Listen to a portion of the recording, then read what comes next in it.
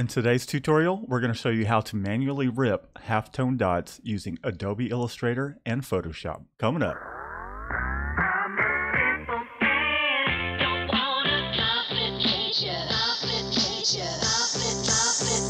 Hey, welcome back everybody. If you're new to the channel, be sure to subscribe and give this video a like. If you're in the market for Adobe Photoshop or Illustrator, use our link down in the description. What it will do is help support our channel and it doesn't cost you any more than if you're just to go over to adobe.com yourself. So this is something that I've been getting a lot of requests for is how to rip halftone dots manually using Photoshop. We're going to use a combination of Adobe Illustrator and Photoshop and you'll see why. But this has been requested many times and I'm going to go ahead and show you how to do that. So let's dive right into that tutorial.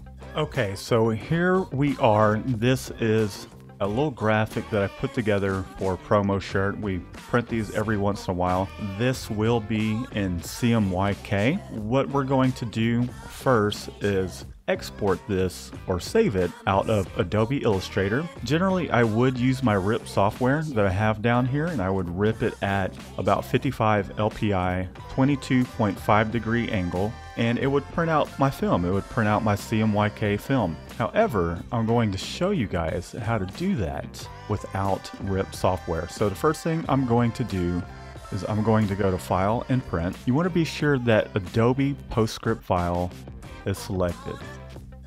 And then the next thing we're going to do is we're going to go to output, make sure it is on separations, which we're good there.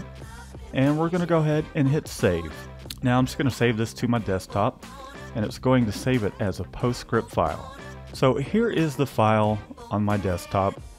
And if you open it up, you'll see that what it did was create four separations, your CMYK. So here is our cyan, our magenta, our yellow, and our black. Be sure that when you do go to save the file, that you have, you mark some bleeds, make sure page information is selected, so that way you will have the colors up at the top of each one of your films. So what I'm going to go ahead and do next is I'm going to go ahead and save this file and I'm going to save it as a PDF. And I'm just going to save that to my desktop once again.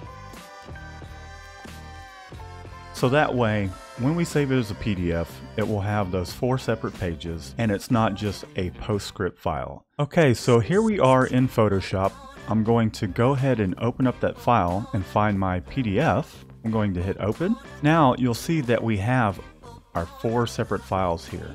Okay, now that we have our file open, I'm going to select each one of these and I'm just holding command down on the keyboard. For PC, you can hold control and we do want to make sure it is at 300 DPI and we're gonna open it as grayscale. You want your mode as grayscale and this will be two size. And we're gonna go ahead and open that up. Now that our files are open, the next thing we're going to do with each one of these files is we're going to go to image and we're going to go to mode and we're going to click on bitmap. Now it's asking me to flatten the layers. That is okay. We want to make sure it stays 300 dpi and the method to use is halftone screen. So we're going to hit OK. Now in this case, because this art would be printed at 55 LPI, I would punch in 55 if you're doing spot process. I would recommend 42 to about 45. We're going to keep the angle at 22.5 degrees and we're going to keep this at round. You can choose whatever you like. However, I generally like to go with round or ellipse, but I'm going to use round in this example. And I'm going to hit OK. Now, if you double click on your zoom glass, that'll bring it to 100% and you can see all the little halftone dots. So the next thing we're going to do is we're going to save this out as a TIFF. And hit Command Shift S or Save As. Looks like we're working with our cyan, so I'm just going to call this cyan. I'll save it as a TIFF and I'll just go ahead and hit save. You can use LZW compression. I generally wouldn't recommend that for printing because it, it, will compress the file a little bit. It'll help save file size wise, but I'm going to leave the compression at none and I'm going to hit OK. Now I'm going to repeat this process for the rest of these films. One of the things you can do to speed this process up if you have multiple colors is you can go to your actions, you can create a new set, hit record, and then go ahead and make your changes to each one of these. So we're going to go to mode, bitmap, flatten layers OK, 300 dpi, half tone screen, 55, 22.5 and round. I'm going to hit OK.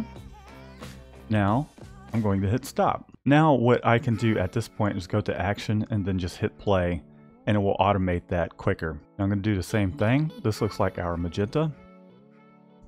Save it as a TIFF to our desktop. I'm going to close that file and I'm going to repeat the process.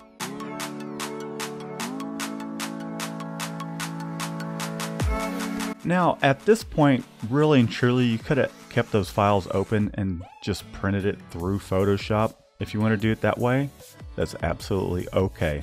But what I'm going to do is I'm going to go a step further. I'm going to go back over to Adobe Illustrator and I'm just going to go ahead and delete that file. I'm going to turn my center marks, my registration marks off. I'm going to hit Command Shift P and then I'm going to go to my files on my desktop and I'm going to go ahead and import that. I hit Command Shift P, you could go over to File and Place, same thing. Now I'm just going to click on my artboard here and import each one of those. Now I'm going to kind of drag these off to the side so I can see what I'm working with here. It'll make it a little easier for me to, to click on each one of these. And what I'm going to do is I'm going to give this a color. I'm going to go over to my swatches. I'm going to create a new swatch. We're going to call this one yellow. We'll call it yellow spot. We're going to save it as a spot color. And then we're going to make this 100% yellow. So now you can see our yellow dots we got going on here, our yellow print. We're going to go over to the next one and we're going to go down the line.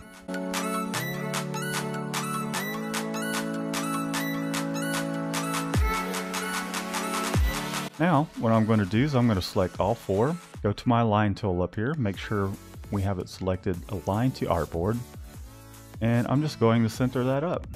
Now, we can select every single one of these, and we're going to go over to our attributes window. You can find that by going to window and attributes if yours is not open.